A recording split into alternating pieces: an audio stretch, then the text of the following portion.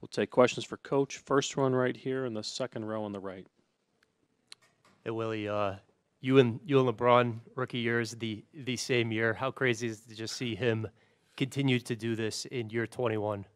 Uh, it's incredible what he's doing um, right now. You know, I'm 42, so uh, he can't be too too far behind me um, to be playing at such a high level. At is this 20, 22 years or 21 years? So playing at such a high level, 21 years in the NBA, uh, his impact on the game, on the, the, the younger generation, has been incredible, and it's it's amazing to see. You, guys played in your 10th game of the season. Do you do you remember any details or anything from that game? I don't. no, I, I don't remember too many details of, of, of our tenth. You said my tenth game, rookie, my rookie season. Nah, no, I don't. Next question over here on the left side in the front. Two. Coach, what are your thoughts on just the environment here, playing these games in Las Vegas, in this city, in this environment? Um, the games have they, they've they've been a lot of fun. Um, I think the the NBA has done a great job of providing a platform that allows high, competitive, meaningful games during the regular season.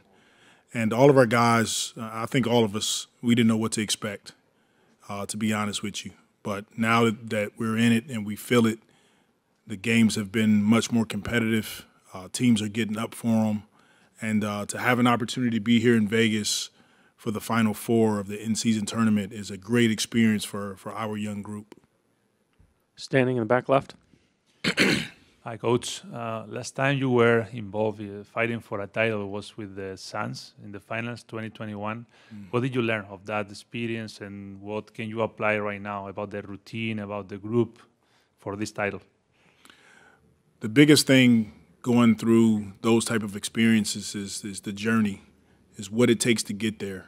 Um, all of the film work, the player development time, the practice time, the team dinners on the road, uh, working with the performance staff, doing all the little things, and, and building the relationships and camaraderie with your teammates, coaches, front office, and um, it makes you stronger. And for, so for us, we're start we're having some of those experiences right now during the regular season, and we're hopeful that that pays off down the stretch for us uh, this year.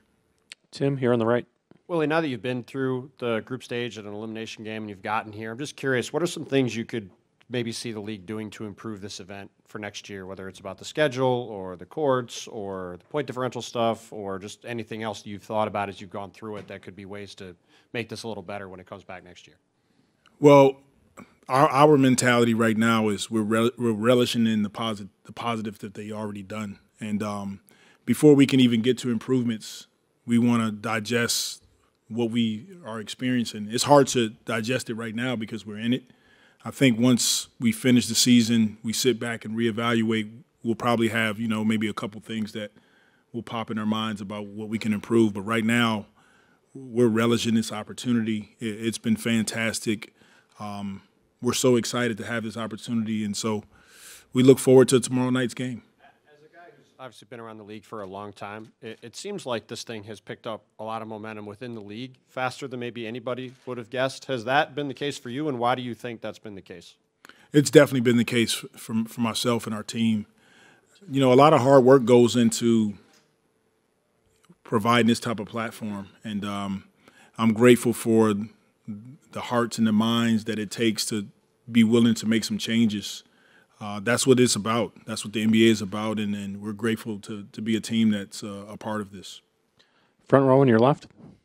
Um, hey, coach, I feel like you guys are a very scary team because one, you guys are just now starting to get healthy. Trey Murphy's getting rolling. Herb Jones is really starting to get rolling offensively too, as well. And then two, you know, I just wanted to ask you about you know that team, about your guys' team coming together and now you know being healthy, but also I've been talking to a lot of coaches. They bring you up as a as a coach that you know draws up a lot of good sets, circle pins. A lot of people tell me to watch you know your sets that you run. You being a former player, where did you get that from? You know, in terms of being able to draw up good sets and people watching your you know your work and you as a head coach drawing up good plays and actions too as well. Yeah, for sure. To to answer the first part of, of the question, um, we're we're capable right now, and um, you know we don't want to get too far ahead of ourselves. We know that there's a ton of work that goes into being a really good team in the NBA and, and being consistent and winning consistently. Uh, so those are the things that we're working on. As far as, as the plays, is um, I have a lot of help. I have an amazing coaching staff, and I watch uh, a ton of NBA games as a coach, but also as a fan, and I steal stuff from every coach. So a lot of times it's their plays that they're they're praising me about. Um, but we do it together, and, and that's our mentality. We continue to work as a coaching staff, see who we have on the floor, and try to put our, our players in the best possible position to get a quality shot. like running like, get action for like Zion. Like we don't really typically see that, you know, trying to get him downhill. Like you do certain things like you take that do you take that from seeing others or do you kind of like, you know, see someone someone else does and then say, you know what, I can incorporate my own way to it too as well. A lot of it has to do with um, the different characteristics of our players. Uh, and so we tailor uh, most of our ATOs around who they are and, and how we can get them the best quality shot, for sure. Joe here in the front. Do you think that the IST will become an accolade that helps define a player's personal success or, you know, a franchise and when they start looking at like, well, this is what the franchise has accomplished over its years? I, think it's going to be added to what's already here.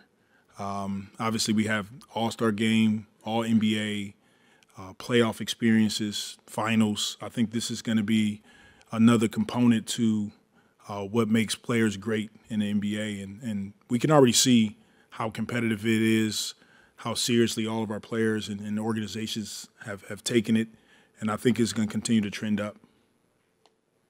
Any other questions for Coach? Last one, Christian, right here in the front. It's uh, tr- you know, a, a drive, a short drive here from LA. Uh, just what do you expect in this environment to be to be like in here um, tomorrow night? Um, based on w- what we see during summer league, this is going to be a home game for the Lakers. Um, they they have a ton of fan support here.